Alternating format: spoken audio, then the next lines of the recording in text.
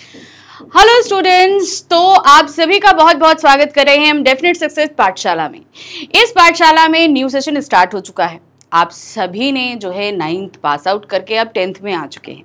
तो अब टेंथ में हम पढ़ने क्या क्या वाले हैं? खासतौर से हिंदी में। भाई, हम आपको हिंदी पढ़ाते हैं तो हिंदी के कितनी बुक्स हैं क्या क्या सिलेबस है, ये सारी चीज़ें जानना ज़रूरी होता है। इससे पहले कि हम अपनी स्टडी स्टार्ट करें। ठीक है? तो हिंदी में आप मोटा मोटा ऐसे समझो कि आपके पास दो बुक्स हैं, ठीक है? पहला तो आप एक जो बेसिक चीज़ समझना है वो ये है कि क्लास टेंथ में आपको हिंदी के दो कोर्स चलते हैं। जैसे क्लास नाइन्थ में था कोर्स ए था कोर्स बी था, आपके पास जो भी कोर्स रहा होगा वही कंटिन्यू आपका टेंथ में भी रहेगा। अगर आपने कोर्स ए पढ़ा है तो टेंथ में भी आपका कोर्स ए रहेगा। अगर आपने नाइन्थ में कोर्स बी पढ़ा है तो नाइन टेंथ में भी आपका कोर्स बी रहेगा। तो अभी आज जो हम लेकर आए हैं, वो क्लास टेंथ में हिंदी कोर्स ए का हम सिलेबस ओवरव्यू लेकर आए कि आखिर हम पढ़ने क्या वाले हैं। तो अब कोर्स बी वाले बच्चे बिल्कुल भी परेशान नहीं हो कि मैम आप हमारी तरफ़ ध्यान नहीं दे रहे हैं।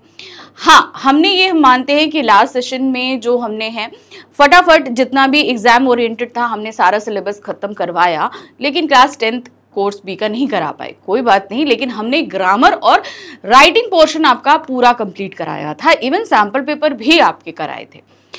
इस सेशन में हम ये कोशिश करेंगे कि कोर्स ए और बी दोनों को कवर अप करें। तो चलिए वापस आ जाते हैं हम यहाँ पर आज के वीडियो पर। जैसे मैंने बोला कि class tenth Hindi course A को हम सबसे पहले स्टार्ट कर रहे हैं। तो इसमें आपको जो समझना है कि इसमें हमारे पास दो बुक्स दी हुई हैं। पहली बुक हमारी शतज भाग दो है और दूसरी बुक है कृतिका भाग दो।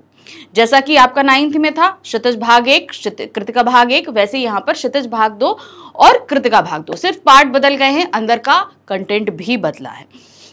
आपकी नाइन्थ में शुरू हो रही थी बुक गद्य खंड से। यहाँ पर शुरू हो रही है काव्य खंड से, ठीक है? तो यहाँ पर जो आपको सबसे पहले जो चीज़ ध्यान देनी है, वो देखिएगा कि आपकी शतज बुक भी आपकी दो खंडों में विभक्त है काव्य खंड और गद्य खंड ठीक है? किसमें? दो। काव्य खंड और गद्य खंड काव्य खंड में आपके जितने भी पद हैं, दोहे हैं, कविताएँ हैं, सवैये हैं, चौपाइयाँ हैं, ये सभी कुछ आने वाला है। अब इसमें हम क्या क्या चीज़ें आगे आ रही हैं वो देखते हैं। तो सबसे पहले हम काव्य खंड देखेंगे। काव्य खंड में आप देख रहे हो, ये आपके छह चैप्टर हैं। कितने? सिक्स चैप्टर आपके काव्य खंड में है और सिक्स आपके गद्य खंड में है। अब इनके अंदर है क्या? तो सबसे पहला चैप्टर जो आ रहा है वो है सूरदास जी के पद। यहाँ पर सूरदास जी के आपके चार पद लिए गए। कितने? चार पद। पहला पद है उधव तुम तो हो अति बड़ी भागी। दूसरा है, मन की मन ही मांझ रही। तीसरा है, हमरे हरि हारिल की लकड़ी। और चौथा है, हरि है राजनीति पढ़ी आए। तो ये जो हम सूरदास जी के पद यहाँ पर पढ़ने वाले हैं, ये इनके भ्रमर गीत से लिए गए। अब थोड़ा सा इंट्रो मैं दे देती हूँ इस चैप्टर से रिलेटेड आपको। क्या हुआ था जब श्री कृष्ण जी मथुरा चले गए? अब गोपियाँ तो रह गई भाई, कहाँ पर? ब्रज में ही रह गई। अब उनके चले जाने के बाद उन्होंने ये वादा करके गए थे कि हम कार्तिक मास तक वापस आ जाएँगे। लेकिन अब श्री कृष्ण जो चले गए, फिर वो वापस नहीं आए। उन्होंने अपने मित्र उद्धव को भेजा। कि जाओ, अब गोपियाँ, उनको पता था कि इस समय वो विरह अग्नि में है, वो प्रेम में डूबी हुई है विरह अग्नि में है, विरह को झेल रही हैं। तो उन्होंने बोला कि हम इनको प्रेम से उनसे बोलेंगे कि योग की तरफ़ आप अपना जो है, मन लगाओ, ध्यान लगाओ तो जिससे आपके अंदर जो प्रेमाग्नि जल रही है, वो शांत होगी। तो वो जब उद्धव आए और वो योग का संदेश इन्होंने गोपियों को दिया तो जब ये गोपियों को संदेश दे रहे थे, उसी समय वहाँ पर एक भवरा आ जाता है। भवरा जानते हैं ना? भवरा आ जाता है। अब उस भवरे को दिखा अब क्योंकि उस समय की मर्यादा ये है कि गोपियाँ उद्धव से डायरेक्टली जो है ना श्री कृष्ण की शिकायत कर सकती हैं, ना ही उद्धव से कोई बात कह सकती हैं तंज भरी। लेकिन गुस्सा तो उनको आ चुकी थी तो अब वो क्या करती? तो उन्होंने उद्धव से सीधे बात ना कहकर उन्होंने सारी बातें भ्रमर को कही, यानी कि भौरे को कही। कहे वो भौरे को रही हैं, लेकिन लग किसको रही है, सुनाई किसको दे रही है? उद्धव को। तो वही ये पद यहाँ से भ्रमर गीत शुरू होता है, उसी में से चार पद आपके पास आए अब आ जाते हैं दूसरा अध्याय। दूसरा अध्याय है तुलसीदास जी द्वारा कृत। आप सभी जानते हैं रामचरित मानस जानते हैं ना? जानते हैं कि नहीं जानते? किसने लिखी? रामचरित मानस तुलसीदास ने लिखी कि तुलसीदास ने रामायण लिखी? क्या लिखी? इस बात को लेकर बहुत ज़्यादा कंफ्यूजन है, मैं आपको बता दूँ।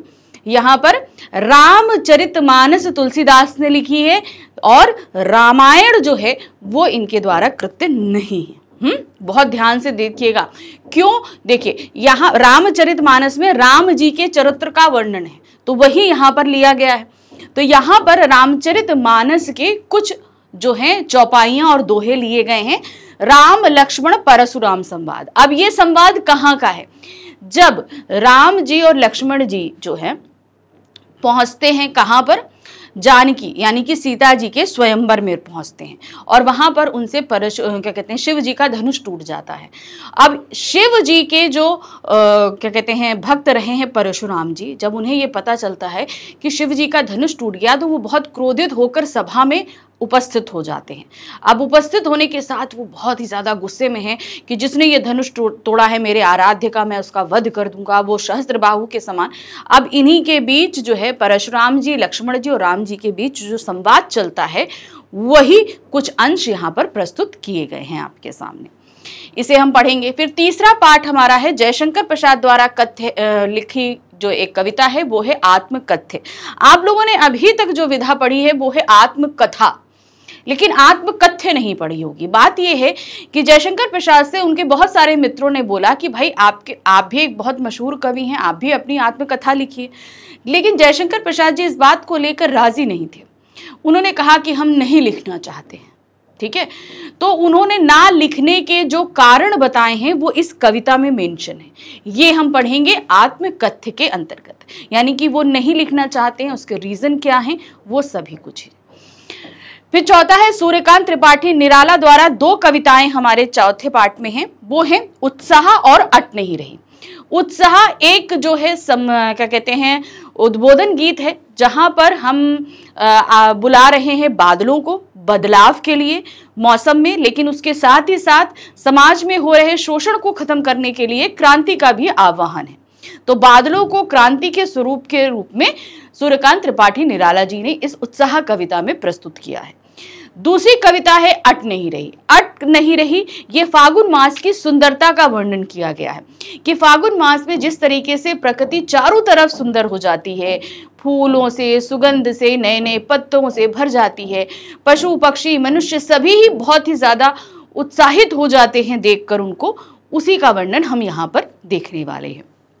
फिर पांचवा पाठ है, नागार्जुन द्वारा लिखित दो कविताएँ हैं, यह दंतुरित मुस्कान और दूसरी है फ़सल अब जो नागार्जुन जी हैं, वो जो कहते हैं ना, भ्रमण के बहुत, हमेशा वो घर से बाहर रहते, प्रवासी की ज़िंदगी जीते थे। तो जब उनका पुत्र पैदा हुआ तो वो अपने घर पर नहीं थे। और जब वापस आए, तब तक वो बच्चा थोड़ा बड़ा हो गया था तीन चार महीने का हो गया था। तो वो धीरे धीरे जैसे पहचानने वाली जो कंडीशन होती है, वो अब पहचानने लगा था। लेकिन अब नागार्जुन जी जब घर आते हैं तो पहली बार अपने बच्चे से मिलते हैं। तब तक उसके छोटे छोटे से दांत निकल आए थे। और उस बच्चे की उस छोटे छोटे दांतों वाली हँसी को देखकर वो इतना ज़्यादा सम्मोहित होते हैं और उसकी किस किस तरीके से तुलना करते हैं, सारी चीज़ें उन्होंने बड़े बखूबी ढंग से इस कविता में प्रस्तुत करी। इसीलिए इस कविता का नाम है, यह दंतुरित मुस्कान छोटे छोटे दांतों वाली जो मुस्कान है उसके बारे में। दूसरी कविता है फ़सल। अब फ़सल क्या? हम लोग के प्लेट में जो अनाज आता है, यानी हम लोग के पेट में जो खाना आता है, दाल, चावल, सब्ज़ी, रोटी, ये कितनी मेहनत से द्वारा पैदा किया जाता है, इसको कितनी मेहनत लगती है प्रकृति का भी सहयोग रहता है, मनुष्य का भी सहयोग रहता है। इसी पे एक छोटी सी कविता है, कहने को वो कविता छोटी है, लेकिन उसकी गंभीरता बहुत ज़्यादा है यहाँ पर। इस कविता के माध्यम से हम जानेंगे कि फ़सल है क्या एक्चुअली ठीक है? उसके बाद काव्य खंड का हमारा आखिरी अध्याय है, संगतकार। संगतकार, यानी कि किसी भी एक फ़ेमस व्यक्ति के पीछे सपोर्टिव हैंड्स बहुत होते हैं।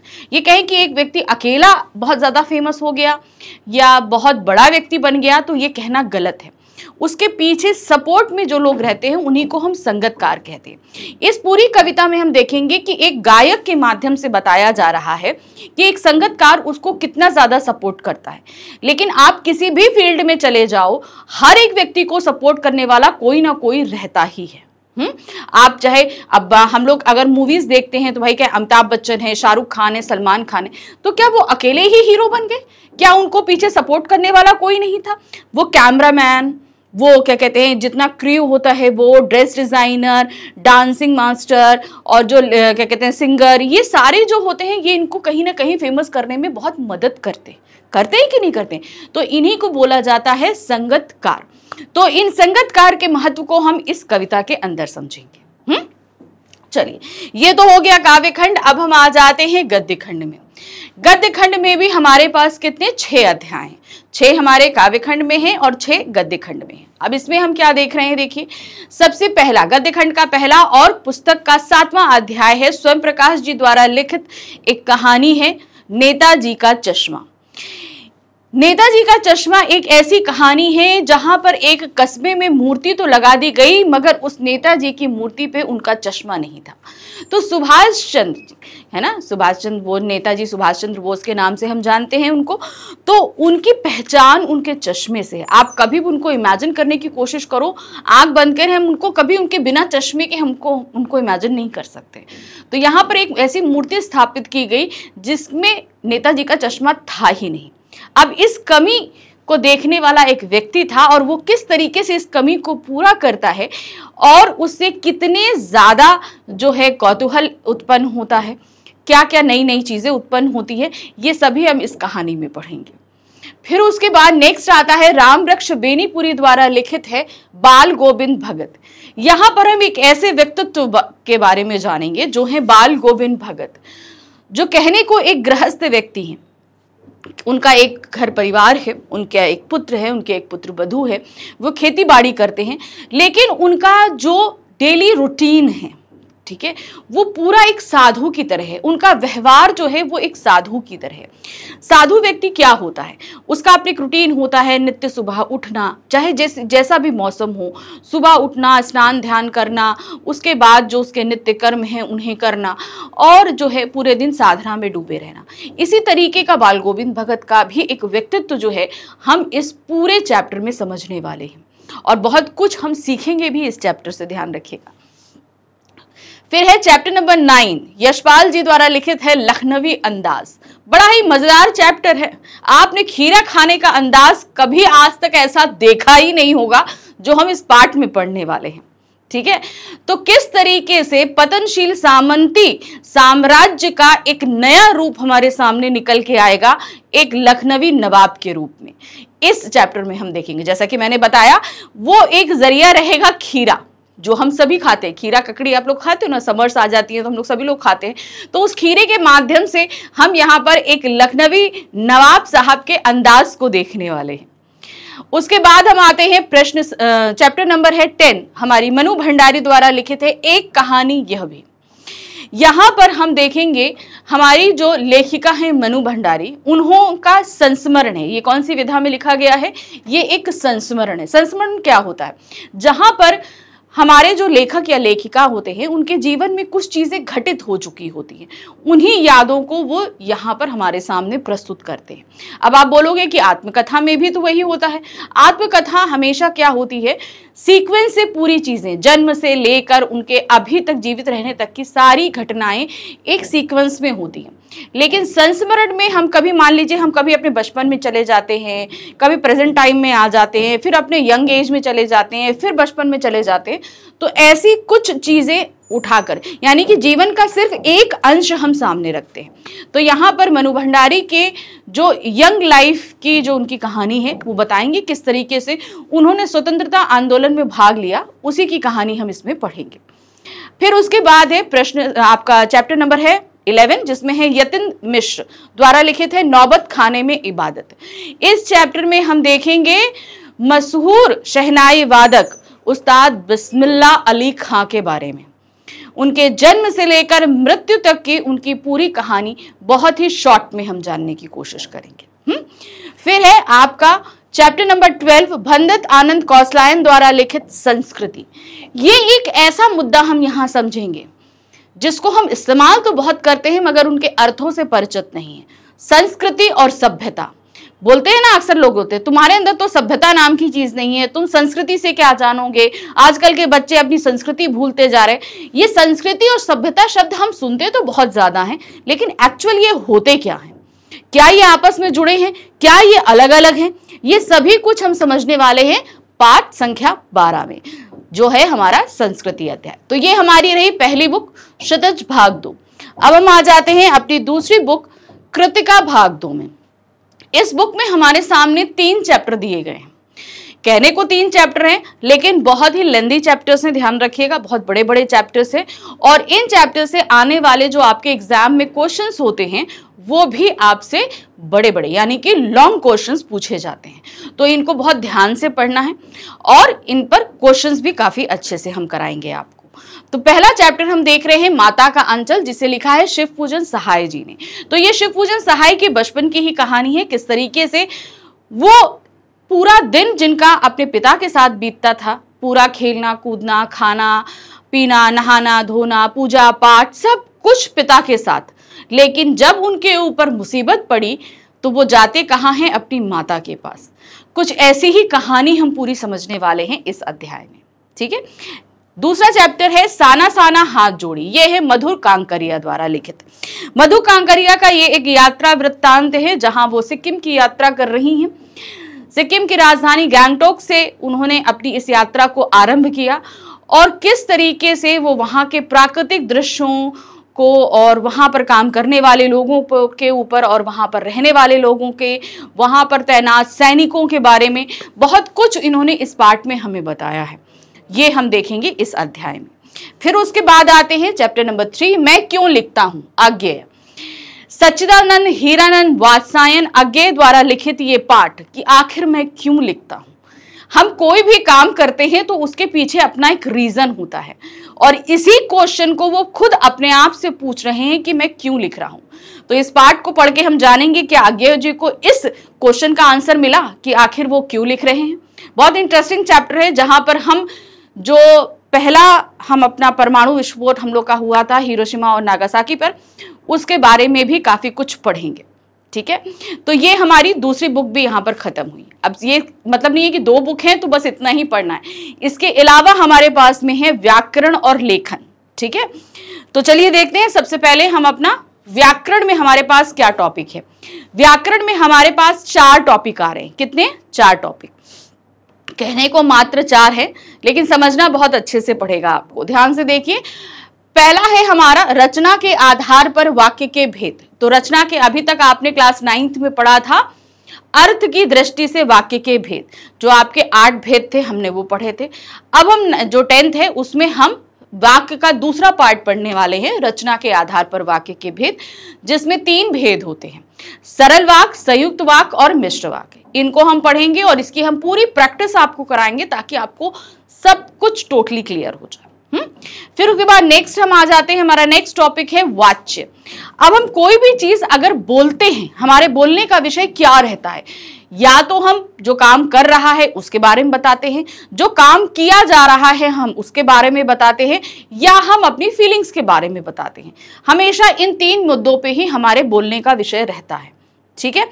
तो इन्हीं तीनों को हम जानेंगे कि ये क्या होते हैं। ठीक है? वाच्य के ज़रिए, जिसमें हम देखेंगे कर्तवाच्य, कर्मवाच्य और भाववाच्य। नेक्स्ट आ जाते हैं पद परिचय। जैसे कि हम सभी की अपना एक परिचय है, ठीक है? मेरा नाम रूपाली वर्मा है, मैं आपकी हिंदी एजुकेटर हूँ, मैं यहाँ रहती हूँ। जो कुछ भी है, मेरा अपना एक परिचय उसी तरीके से आपका एक परिचय है। तो हम जब वाक्य बनाते हैं, किसी भी तरीके का हम वाक्य बनाते हैं, उसमें हम जितने भी पद इस्तेमाल करते हैं, उनका भी अपना एक परिचय होता है। उनका भी अपना एक इंट्रोडक्शन होता है कि आखिर वो क्या है। तो उन्हीं का परिचय हम सीखेंगे इसमें। तो ध्यान रखिए कि आपने क्लास फ़र्स्ट से लेकर नाइन्थ तक जितनी भी व्याकरण पढ़ी है, वो सारी व्याकरण आपके सिर्फ़ इस एक टॉपिक में इस्तेमाल हो जाएगी। तो ध्यान रखिए, इस इस टॉपिक को पढ़ने से पहले आपको बहुत अच्छे से पूरा व्याकरण रिवाइज कर लेना है। हम्म? चलिए नेक्स्ट उसके बाद हमारा आखिरी टॉपिक है अलंकार। अलंकार में हमारे पास चार टॉपिक दिए जा रहे हैं, श्लेष अलंकार, उत्प्रेक्षा अलंकार, अतिशयोक्ति अलंकार और मानवीय कर अलंकार। तो आप सब ज़्यादा खुश नहीं होना कि मैम सिर्फ़ चार याद रखिए, जो चार आपने क्लास नाइन्थ में पढ़ लिए हैं, वो भी आपसे इन टेंथ में पूछे जाएँगे।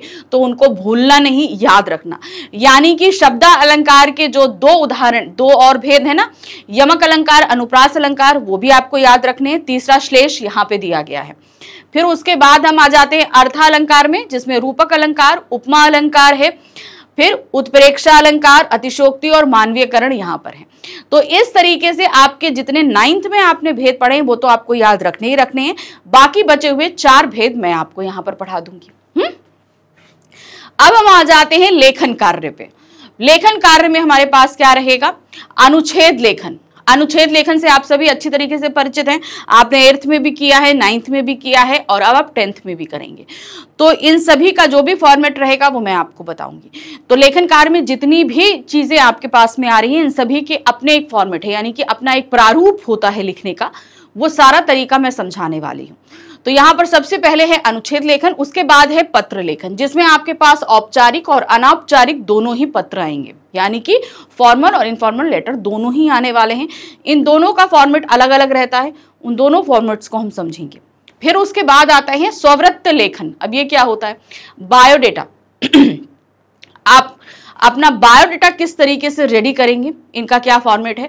बायोडेटा के साथ हमको आवेदन पत्र भी लिखना होता है। उसका भी फॉर्मेट इसमें मैं आपको बताऊँगी। यानी कि आवेदन पत्र और स्ववृत्ति यानी कि बायोडेटा ये दोनों ही किस तरीके से तैयार किए जाते हैं, इनका अपना एक फॉर्मेट है, अपना एक तरीका है लिखने का, वो सारी चीज़ें इसमें क्लियर करी जाएँगी। फिर है औपचारिक ईमेल लेखन। आज के समय में हर जगह हमें ईमेल भेजना पड़ता है। तो जिस तरीके से पत्र दो तरीके से होते हैं, औपचारिक, अनौपचारिक, उसी तरीके से ईमेल भी औपचारिक और अनौपचारिक होता है। अनौपचारिक लेखन का ईमेल लेखन का हम बहुत कम इस्तेमाल करते हैं क्योंकि परिवार वालों को हम कोई मेल तो भेजेंगे नहीं। ज़्यादातर हम औपचारिक ईमेल लेखन का इस्तेमाल करते हैं। किसी भी कंपनी को मेल करना है, स्कूल में मेल करना है, कहीं भी भी करना है। उसके लिए। तो उसका क्या फॉर्मेट है, वो हम यहाँ समझेंगे। फिर आता है विज्ञापन लेखन। एडवर्टाइजमेंट का ज़माना है भाई। एडवर्टाइजमेंट कैसे रेडी किए जाते हैं, इनको देखने वाले हैं। फिर है संदेश लेखन। किसी को अगर हमें संदेश देना है किसी तरीके का तो वो हम किस तरीके से लिखेंगे? ध्यान रखिए, हर एक चीज़ का अपना अलग अलग तरीका है लिखने का। तो ये हमारे लेखन कार्य से संबंधित ये सारे टॉपिक आएँगे। इन सभी को हम समझेंगे लेखन के अंदर। तो इतना सारा सिलेबस है हमारा हिंदी का, जिसे हम समझेंगे। सब कुछ हम अच्छे से पढ़ने वाले हैं और रेडी करने वाले हैं। ठीक है? तो कमर कस के तैयार हो जाइए। अब हम जो अगली बार आपसे मिलने वाले हैं, वहाँ पर हम शुरू करेंगे अपनी पहली पुस्तक शतज भाग दो के पहले अध्याय के डिटेल एक्सप्लेनेशन के साथ में। अच्छे से पढ़िए, अच्छे से समझाऊँगी मैं आपको। बस जितनी देर पढ़िए, हम कह रहे हैं, हम ये नहीं कहते कि आपको बहुत दस बारह घंटे पढ़ने हैं। हम कह रहे हैं, आप अगर आधा घंटा कॉन्सेंट्रेट कर सकते हो, आधा घंटा पढ़ो, लेकिन ध्यान लगाकर पढ़ो। और वो ध्यान लगाकर पढ़ोगे तो याद रखिए, एक बार जो चीज़ पढ़ोगे, वो आपको हमेशा याद रहेगी। हम्म? तो चलिए यहाँ पे ये वीडियो एंड करती हूँ और मिलूँगी आपके नए वीडियो नए चैप्टर नए बुक के साथ पे। Thank you for watching bye bye